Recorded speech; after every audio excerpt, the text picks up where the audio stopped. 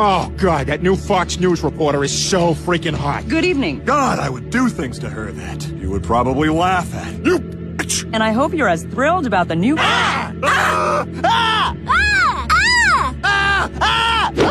Hey, look at this. Fox News is looking for a replacement for Rhonda Latimer. Well, I mean, I guess there's no harm in trying out. Lois, you can't possibly be considering working for Fox News. They're evil and they distort the truth and they do the bidding of the Republic. Don't listen to Brian Lois. You'd be great on camera. Well, I've been doing this job a long time, and I think you've got what it takes. Oh, this is my dog, Brian. Well, hi there, Brian. How's it going, Adolf? We want you to do an investigative expose on one of America's greatest enemies, Michael Moore. Oh, here we go. We have reason to suspect that Michael Moore may be a closet homosexual.